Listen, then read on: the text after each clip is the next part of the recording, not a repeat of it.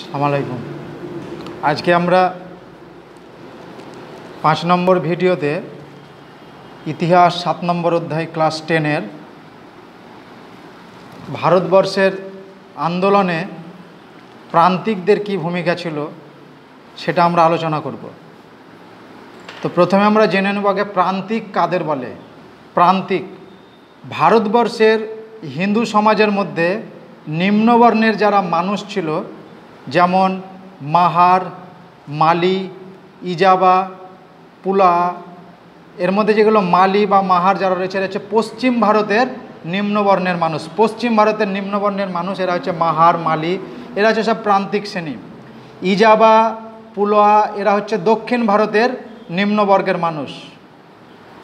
চামার, উত্তর ভারতের মানুষ। মুচি, হাঁড়ি নমশূদ্র, এগুলো পূর্ব ভারতের, অর্থাৎ আমাদের বাংলা, ঝাড়খণ্ড, এই সমস্ত অঞ্চলের মানুষ।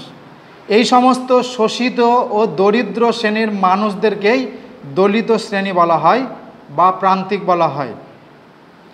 হিন্দু সমাজের শেষ প্রান্তে এই শ্রেণির অবস্থান বলে একে প্রান্তিক শ্রেণি বলা হয়।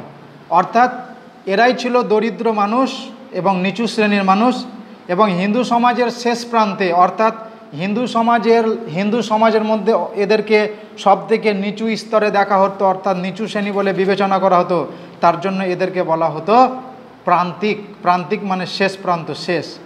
গান্ধীজি এই সমস্ত শ্রেণীকে হরিজন সম্প্রদায় বলে উল্লেখ করেছেন।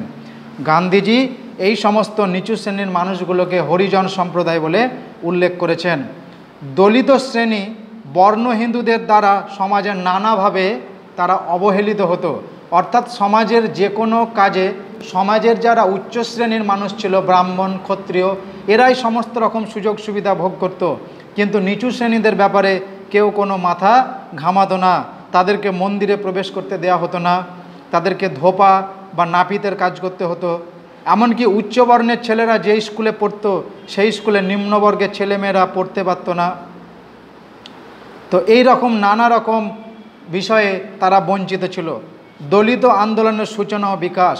সেই কারণে এই সমস্ত দলিতরা ভারতবর্ষের বিভিন্ন যে আন্দোলনগুলো ছিল, সেই সমস্ত আন্দোলনগুলোতে তারা এগিয়ে আসতে সাহস করেনি।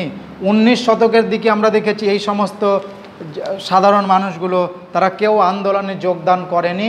তারা বাড়ির বাইরে বেরিয়ে আসতে সাহস করতে পারত না এবং সমাজের উঁচুতলার মানুষদের সাথে মেশার তারা সাহস জোগাড় করতে পারত না। উনিশ শতকে মহারাষ্ট্রের বিখ্যাত সমাজ সংস্কার, সংস্কারক মহাত্মা জ্যোতিবা ফুলে আমরা নাম শুনেছি।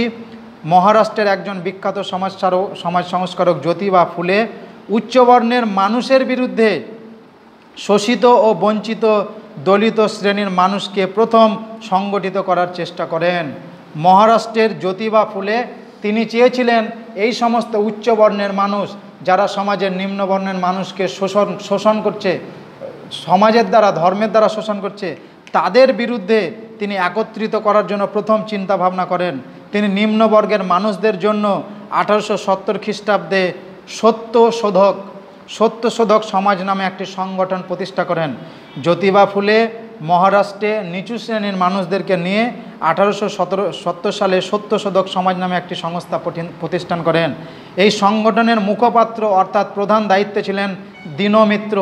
এই সংগঠনের প্রধান দায়িত্বে ছিলেন দীনমিত্র।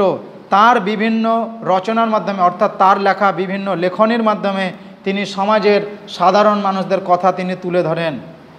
দক্ষিণ ভারতে অপর একজন ধর্ম ও সমাজ সংস্কারক ছিলেন বীরসালিঙ্গম। আমরা নাম শুনেছি আগে। বীরসালিঙ্গম, তিনিও দলিত শ্রেণির মানুষদের সমাজের অবিচারের কথা, অস্পৃশ্যতার কথা, অর্থাৎ অস্পৃশ্যতা মানে ছোঁয়া, ছুলে জাত চলে যাবে এরকম যে বিষয়। জাতিভেদ প্রথা ইত্যাদির বিরুদ্ধে তিনি আন্দোলন গড়ে তোলেন। জাতীয় কংগ্রেসের উচ্চবর্ণের প্রাধান্য থাকায় দলিত শ্রেণি সম্পর্কে তারা প্রথমে নীরব ছিল। জাতীয় কংগ্রেসে যে সমস্ত নেতারা থাকতো, তারা সবাই ছিল উচ্চবর্ণের অর্থাৎ সমাজের উচ্চ শ্রেণির। তার জন্য তারা প্রথম দিকে নিচু শ্রেণির মানুষদেরকে নিয়ে তারা কোনো মাথা ঘামাতো না। অন্যদিকে দলিতরাও কংগ্রেসদের উচ্চবর্ণের মানুষদের সঙ্গে মিশতে তারা সাহস করতো না বা যেতে দ্বিধাবোধ করত। গান্ধীজি কংগ্রেসের নেতৃত্ব গ্রহণ করার পর কংগ্রেসের দৃষ্টিভঙ্গির পরিবর্তন ঘটে। গান্ধীজি দলিত সম্প্রদায়ের উন্নতির জন্য হরিজন আন্দোলনের সূচনা করেন। পরবর্তীকালে জাতীয় কংগ্রেসে গান্ধীজির আবির্ভাব কি করে? যা গান্ধীজি তার দৃষ্টিভঙ্গির পরিবর্তন করে দলিত সম্প্রদায়কে নিয়ে একটি আন্দোলনের সূচনা করেন, সেই আন্দোলনটা ছিল হরিজন আন্দোলন, অর্থাৎ সমাজের নিচু শ্রেণির মানুষদের জন্য আন্দোলন। দক্ষিণ ভারতে তামিল ভাষা ও সংস্কৃতির আন্দোলনকে কেন্দ্র করে দলিতদের মধ্যে ঐক্য গড়ে ওঠে। দক্ষিণ ভারতে এক একসময় একটা আন্দোলন গড়ে ওঠে, তামিল ভাষা ও সংস্কৃতির আন্দোলন। সেখানকার মানুষ তামিল ভাষাকে গুরুত্ব দিয়ে এবং সেখানকার সংস্কৃতিকে গুরুত্ব দিয়ে ঐক্যবদ্ধ হয়। ফলস্বরূপ, উনিশশো ষোলো খ্রিস্টাব্দে জাস্টিস পার্টি, ফলে তামিলনাড়ুতে জাস্টিস তামিল ভাষা, সেখানে দক্ষিণ ভারতে উনিশশো ষোলো খ্রিস্টাব্দে জাস্টিস পার্টি, জাস্টিস মানে হচ্ছে বিচার জাস্টিস জাস্টিস পার্টি প্রতিষ্ঠিত করে। এই দল দলিতদের দাবি দাওয়া নিয়ে সরব হয়। এই দলের প্রধান উদ্দেশ্য ছিল দলিতদের দাবি, অর্থাৎ দলিতদের যে দাবি আছে, সে দাবিগুলোকে তুলে ধরা। উনিশশো চব্বিশ খ্রিস্টাব্দের নারায়ণগুরু দক্ষিণ ভারতে ভাইকমের মন্দির সংলগ্ন রাস্তায় দলিতদের চলাচল করার দাবিতে ভাইকম সত্যগ্রহ আন্দোলন শুরু করেন। অর্থাৎ উনিশশো চব্বিশ খ্রিস্টাব্দে নারায়ণগুরু দক্ষিণ ভারতের যে ভাইকম মন্দির রয়েছে, সেই মন্দিরের রাস্তা দিয়ে দলিতরা যেতে পারবে, এই নিয়ে তিনি একটা আন্দোলন শুরু করেন, সেটা হচ্ছে ভাইকম সত্যগ্রহ। অর্থাৎ ভাইকম মন্দিরকে কেন্দ্র করে ভাইকম সত্যগ্রহ। আগে দলিতদেরকে মন্দিরের পাশের রাস্তা দিয়ে রাস্তা দিয়ে যেতে দেওয়া হতো না। তীব্র আন্দোলনের চাপে দলিতরা ওই রাস্তায় চলাচল করার অধিকার পায়। পরবর্তীকালে আন্দোলন এত বৃহৎ আকার ধারণ করে যে সমাজের উচ্চ শ্রেণির মানুষরা ওই মন্দিরের পাশ দিয়ে নিচু শ্রেণির মানুষদেরকে যেতে দিতে বাধ্য হয়। উনিশশো ছাব্বিশ খ্রিস্টাব্দে তিনি রেসপেক্ট লীগ গঠন করেন। তামিলনাড়ু জুড়ে দলিত আন্দোলন সংগঠিত হয়। নারায়ণগুরু পরবর্তীকালে আবার দুবছর পর উনিশশো ছাব্বিশ সালে রেসপেক্ট লীগ নামে একটি সংগঠন করেন। যেখানে আন্দোলন আরও সক্রিয় আকার ধারণ করে এবং অনেকটা সাফল্য লাভ করে। উনিশশো ছাব্বিশ খ্রিস্টাব্দের নাগপুরে, মহারাষ্ট্রের নাগপুরে সর্বভারতীয় দলীয় সম্মেলনের পর দলিত আন্দোলন গতিশীল হয়। অর্থাৎ ভারতবর্ষের যে সমস্ত জায়গাগুলোতে দলিত মানুষ ছিল, সেই সমস্ত মানুষদেরকে নিয়ে বিভিন্ন জায়গায় বিভিন্ন নেতা তাদেরকে নিয়ে আন্দোলন শুরু করে। তো নাগপুরে একটা সম্মেলন তৈরি, সমিতি তৈরি হয়, সেটা হচ্ছে সর্বভারতীয় দলিত সমিতি। এখানে একটি সংগঠন গড়ে ওঠে এসি রাজার সভাপতিত্ব গঠিত হয়। সেখানকার এসি রাজা এই সংগঠনের সভাপতিত্ব করেন। পরবর্তীকালে উনিশশো সাতাশ খ্রিস্টাব্দে কুড়ি মার্চ বোম্বাইয়ের চৌদার জলাশয়ে, বোম্বাইয়ের চৌদা যে জলাশয় রয়েছে, সেখানে দলিতদেরকে পানীয় জল পান করার ব্যবস্থা করে দেয়। তার দাবিতে ডক্টর আম্বেদকরের নেতৃত্বে মাহার মার্চ অনুষ্ঠিত হয়। অর্থাৎ doctor Ambedkar B R Ambedkar, Bhimrao Ramji Ambedkar উনিশশো সাতাশ খ্রিস্টাব্দে দলিতদেরকে পানীয় জলের সুযোগ করে দেওয়ার জন্য বোম্বাইয়ের চৌদার জলাশয়ে একটি মাহার মার্চ, অর্থাৎ একটি যাত্রা শুরু করেন। সেই যাত্রাটার নাম ছিল মাহার মার্চ। আম্বেদকর হিন্দু সমাজের বর্ণবৈষম্যের ভিত্তিতে মনুস্মৃতি গ্রন্থটি প্রকাশ্যে কয়েকটি কপি আগুনে পুড়িয়ে বর্ণ বৈষম্য ও পুরোহিত শ্রেণির প্রাধান্যের বিরুদ্ধে আন্দোলন শুরু করেন। আম্বেদকর কি করেন? হিন্দু সমাজের বর্ণ বৈষম্যের ভিত্তিতে মনুস্মৃতি গ্রন্থটি প্রকাশ্যে কয়েকটি কপি আগুনে পুড়িয়ে বর্ণ বৈষম্য ও পুরোহিত শ্রেণির প্রাধান্যের বিরুদ্ধে আন্দোলন শুরু করেন। অর্থাৎ হিন্দু সমাজের যে বেদের উপ, বেদের গ্রন্থ, বেদের যে ভাগ, সে ভাগটা ছিল মনুস্মৃতি। সে মনুস্মৃতিকে তিনি প্রকাশ্যে পুড়িয়ে দেন। অর্থাৎ সে মনুস্মৃতির মধ্যে রয়েছে হিন্দু সমাজের এই শ্রেণি বিভাগের কথা। তাই তিনি সেইটাকে পুড়িয়ে দিয়ে মানুষের মধ্যে সমান অধিকার আনার জন্য তিনি আন্দোলন শুরু করেন বি আর আম্বেদকর। আম্বেদকরের দলিত শ্রেণির দাবি আদায়ের জন্য, আম্বেদকর দলিত শ্রেণির দাবি আদায়ের জন্য কি করেন? সাইমন কমিশনের কাছে, ব্রিটিশ সাইমনের কাছে গিয়ে তিনি সাক্ষী দেন এবং দলিত শ্রেণির স্বার্থ রক্ষণের দাবি করেন। তিনি সাইমনের কাছে গিয়ে তিনি বলেন যে এই সমস্ত সাধারণ মানুষ যারা বঞ্চিত রয়েছে, তাদের জন্য একটা ব্রিটিশ সরকারের তরফ থেকে ব্যবস্থা করে দিতে হবে। তিনি দলিত শ্রেণির আন্দোলনকে সংগঠিত করার জন্য উনিশশো তিরিশ খ্রিস্টাব্দে সর্বভারতীয় নিপীড়িত কংগ্রেস নামে একটি দল প্রতিষ্ঠা করেন, অর্থাৎ একটি সংস্থা প্রতিষ্ঠা করেন। এই সংগঠনের উদ্দেশ্য ছিল দলিত শ্রেণির পৃথক নির্বাচনের দাবিতে আন্দোলন শুরু করা। অর্থাৎ তিনি এই সংগঠনের মাধ্যমে দলিতদের মধ্যে থেকে নেতা নির্বাচন করেন। উনিশশো বত্রিশ খ্রিস্টাব্দে ব্রিটিশ প্রধানমন্ত্রী ব্রিটিশ প্রধানমন্ত্রী র্যামসে ম্যাকডোনাল্ড, আমরা জানি র্যামসে ম্যাকডোনাল্ডের নাম, তিনি উনিশশো বত্রিশ খ্রিস্টাব্দে সাম্প্রদায়িক মাটোয়ারা নীতি দ্বারা হিন্দু, মুসলিম, শিখ, ভারতীয়, খ্রিস্টান ও দলিত হিন্দুদের পৃথক নির্বাচন ব্যবস্থা করেন। উনিশশো বত্রিশ খ্রিস্টাব্দে ব্রিটিশ প্রধানমন্ত্রী র্যামসে ম্যাকডোনাল্ড ঘোষণা করেন, এবার থেকে মুসলিমরা আলাদা ভোট করবে, হিন্দুরা আলাদা ভোট করবে খ্রিস্টানরা আলাদা ভোট করবে, হিন্দু সমাজের যারা নিচু শ্রেণির মানুষ তারা আলাদা ভোট করবে, অর্থাৎ জাতির ভিত্তিতে, শ্রেণির ভিত্তিতে তিনি ভোটের ব্যবস্থা করেন। গান্ধীজির জীবন রক্ষার জন্য ডক্টর আম্বেদকর বর্ণ হিন্দু নেতা মদন মোহন মালব্যের সঙ্গে পুনা চুক্তি স্বাক্ষর করে পৃথক নির্বাচন ব্যবস্থা প্রত্যাহার করে নেন।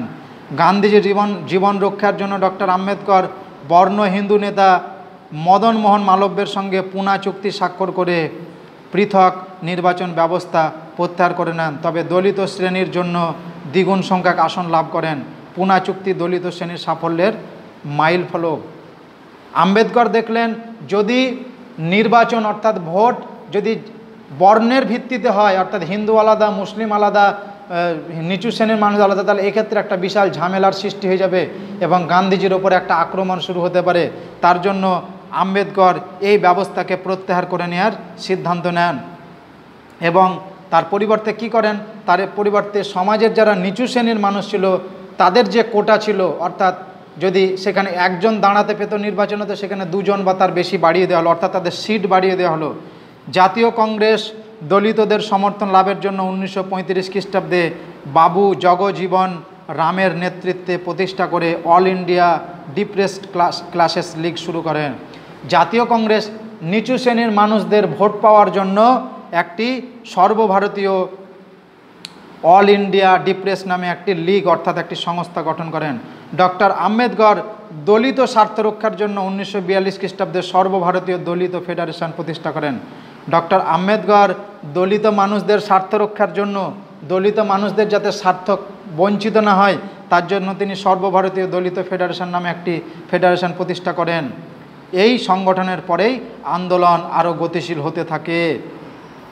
এইভাবে পরবর্তীকালে দলিতদের উপর যে নির্যাতন, সে নির্যাতন বলে, নির্যাতনকে সরকারিভাবে বেআইনি বলে ঘোষণা করা হয়। অর্থাৎ এখন থেকে যদি সমাজের কোনো উচ্চ শ্রেণি নিচু শ্রেণীদের উপর অত্যাচার চালায়, তাহলে সেটা বেআইনি বলে ঘোষণা করা হবে। সেটা বেআইনি বলে ঘোষণা করা হবে। তারপর থেকে ধীরে ধীরে দলিতরা নানা আন্দোলন শুরু করে। লোকসভা, রাজ্যের বিধানসভা সরকারি চাকরি সব ক্ষেত্রে দলিতদের জন্য আসন সংরক্ষিত করা হয়। অর্থাৎ এতদিন পর্যন্ত দলিতরা যে বঞ্চিত ছিল, সেই বঞ্চিত থেকে দলিতরা এবার এগিয়ে আসে। এই দলিত আন্দোলনের বৈশিষ্ট্য কী কী ছিল? দলিত আন্দোলনের বৈশিষ্ট্যগুলি হলো, দলিত আন্দোলনে দলিত শ্রেণির স্বার্থ রক্ষার একটি স্বতন্ত্র ধারা ছিল। দলিত আন্দোলনে দলিত শ্রেণীদের সম্পর্কে মানে দলিত শ্রেণীদের মানুষদের কথা সেখানে তুলে ধরা হতো। তাদের অধিকার তাদের প্রতি তাদের সুযোগ সুবিধা প্রতিষ্ঠা করার দাবি আদায় করা হয় তাদের আন্দোলনগুলিতে। যে কোনো প্রকার সামাজিক ও ধর্মীয় অনুষ্ঠানে তাদেরকে যোগদান করার সুযোগ দেওয়ার কথা ছিল তাদের আন্দোলনগুলিতে। গান্ধীজি ও আম্বেদকরের মধ্যে কি বিতর্ক শুরু হয়েছিল? গান্ধীজি ও আম্বেদকরের মধ্যে কি বিতর্ক শুরু হয়েছিল? গান্ধীজির রাষ্ট্রদর্শনের মূল কথা ছিল স্বশাসিত ও স্বয়ংপূর্ণ স্বয়ংসম্পন্ন গ্রাম গঠন। গান্ধীজি চেয়েছিলেন স্বশাসিত, অর্থাৎ নিজে স্বাধীনতা অর্জন করে এবং স্বয়ংসম্পূর্ণভাবে গ্রাম গড়ে তুলতে হবে। আর আম্বেদকরের চিন্তাভাবনা ছিল শিল্প ও প্রযুক্তির উপর নির্ভর করে শহরকে কেন্দ্র করে তিনি গড়ে তোলায় বিশ্বাসী ছিলেন। গান্ধীজি ছিলেন ভারতবর্ষ হোক গ্রাম কেন্দ্রিক, অর্থাৎ গ্রামের উন্নতি, সেখানে গ্রামের মানুষ ছোট ছোট কারখানা, ছোট ছোট হস্তশিল্পের মাধ্যমে গ্রাম গড়ে তুলুক। আর গান্ধীজি চাইতেন যেহেতু তিনি বাইরে পড়াশোনা করেছিলেন, তার জন্য তার চিন্তাভাবনা ছিল যে শিল্প গড়ে উঠুক এবং শহর গড়ে উঠুক। গান্ধীজি অস্পৃশ্যতা, দূরীকরণ, মন্দিরে প্রবেশাধিকার, তারপরে সামাজিক বিষয়ে নিচু শ্রেণির নিচু শ্রেণির মানে গুরুত্ব দেওয়া, এগুলোর উপরে বেশি গুরুত্ব আরোপ করেন, তিনি দলিতদের উন্নয়নের জন্য কোনো অর্থনৈতিক কর্মসূচি গ্রহণ করেন। গান্ধীজি চেয়েছিলেন যে সমাজের নিচু শ্রেণির মানুষগুলো সব কিছুতে সুযোগ সুবিধা পাক কিন্তু তাদের কীভাবে উন্নতি হবে, এই উন্নতির জন্য তিনি কোনো অর্থনৈতিক ব্যবস্থা গ্রহণ করেননি। কিন্তু আম্বেদকর তাদেরকে সমাজের সকল প্রকার সুযোগ সুবিধা থেকে যোগ দেওয়ার পাশাপাশি তিনি চেয়েছিলেন অর্থনৈতিক দিক দিয়েও তাদের যেন উন্নতি ঘটে। তাহলে এই ছিল গান্ধীজির সঙ্গে আম্বেদকরের কিছুটা পার্থক্য। বাংলায় নমশূদ্র আন্দোলন। বাংলার ক্ষেত্রে বাংলার যারা নিচু শ্রেণির মানুষ ছিল, তারা কি কি আন্দোলন শুরু করেছিল? বাংলার যারা দলিত সম্প্রদায় ছিল, অর্থাৎ বাংলার যারা নিচু শ্রেণির মানুষ ছিল, নিচু সম্প্রদায় ছিল, তাদেরকে বলা হতো নমশূদ্র। তাদেরকে বলা হতো নমশূদ্র। উনিশ শতকের শেষ ভাগে ব্রাহ্মণ সম্প্রদায়ের শোষণের বিরুদ্ধে বাংলার এই নমশূদ্ররা আন্দোলনে নেমে পড়ে। এই আন্দোলনের নেতৃত্ব দেন মতুয়া ধর্মের প্রবর্তক মতুয়া ধর্মের প্রবর্তক, মতুয়া একটা ধর্ম, হিন্দু ধর্মের সম্প্রদায়। মতুয়া ধর্মের প্রবর্তক হরিচাঁদ ঠাকুর ও প্রেমচাঁদ ঠাকুর। উচ্চবর্ণের শোষণ ও বঞ্চনার বিরুদ্ধে এই হরিচাঁদ ঠাকুর ও প্রেমচাঁদ ঠাকুর আন্দোলনে নেমে পড়েন এবং নেতৃত্ব দেন। পূর্ববঙ্গের উচ্চবর্ণের মানুষের মধ্যে কংগ্রেসের প্রভাব সুদৃঢ় হলে প্রমথ রঞ্জন ঠাকুর, যোগেন্দ্রনাথ মণ্ডল নমশূদ্রদের সংগঠিত করেন। পরবর্তীকালে পূর্ববঙ্গে, অর্থাৎ বাংলাদেশে যখন জাতীয় কংগ্রেস প্রভাব বিস্তার করে, তখন জাতীয় কংগ্রেস সমাজের নিচু শ্রেণির মানুষদের গুরুত্ব দিতে শুরু করে। উনিশশো এগারো খ্রিস্টাব্দের জন, জনগণনায় চণ্ডাল নামের পরিবর্তে নমশূদ্র নামে পরিচিত হয়। সমাজে যারা চণ্ডাল নামে পরিচিত ছিল, একবারে নিচু জাত, সেই সমস্ত চণ্ডাল জাতগুলোকে নমশূদ্রের আওতায় আনা হয়। নমশূদ্র সমাজে বাল্যবিবাহ, বহুবিবাহ, রদ ও বিধবা বিবাহের পক্ষে আন্দোলন গড়ে ওঠে। পরবর্তীকালে এই যে নমশূদ্র, অর্থাৎ সমাজের যারা নিচু শ্রেণির মানুষ ছিল, এরা নানা কুসংস্কারে ডুবেছিল। কিন্তু সমাজের বিভিন্ন প্রকার আন্দোলনে, সমাজ সংস্কার আন্দোলনে তারা বাল্যবিবাহ, অর্থাৎ অল্প বয়সী মেয়েদেরকে বিয়ে করা বহু বিবাহ অনেক বিয়ে করা বিধবা বিবাহ এই সমস্ত বিবাহগুলো থেকে, কুসংস্কারগুলো থেকে তারা সরে আসে। মদ্যপান ও জাতিভেদ প্রথা বর্জনের দ্বারা নৈতিকভাবে জীবনযাপনের উপর তারা গুরুত্ব আরোপ করে।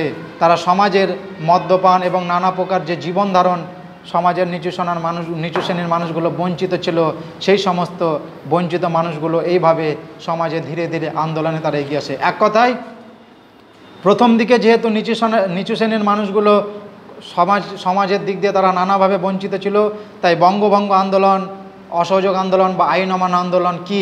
এগুলো তারা অতটা বুঝতো না। তারা বুঝতো নিজেদের স্বার্থ রক্ষার কথাটাই বেশি তারা বুঝতো, কারণ তারা নিজেদের স্বার্থ থেকে তারা বঞ্চিত ছিল।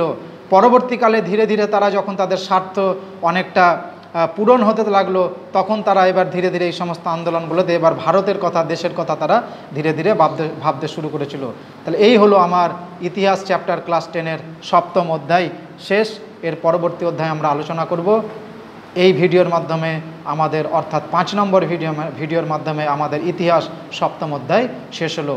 এরপরে তোমরা পুরো টেক্সট বইটাকে ভালো করে পড়ে তোমাদের সামনে যে রেফারেন্স বই আছে, ছায়া প্রকাশনী বা পারুল প্রকাশনীর যদি রেফারেন্স বই থাকে, তো তোমরা প্রত্যেকটা প্রশ্ন ভালোভাবে টু দ্য পয়েন্ট ভালোভাবে পড়ো এবং আমার টেক্সটের ভিডিওগুলো তোমরা বারবার শোনো, তাহলে পুরো অধ্যায়টা তোমাদের মাথার মধ্যে চলে আসবে এবং প্রশ্নের জন্য তোমরা রেফারেন্স বইগুলোকে সুন্দরভাবে বইয়ের মধ্যে টু দ্য পয়েন্ট করা আছে, বুঝে বুঝে তোমরা পড়ো এবং জটিলগুলোকে ক্লাসের টিচার বা প্রাইভেটের টিচার কাছে তোমাদের, তোমরা ভালোভাবে বুঝিয়ে নাও এবং যদি কোনো সমস্যা থাকে তোমরা কমেন্ট করতে পারো। আসসালামু আলাইকুম।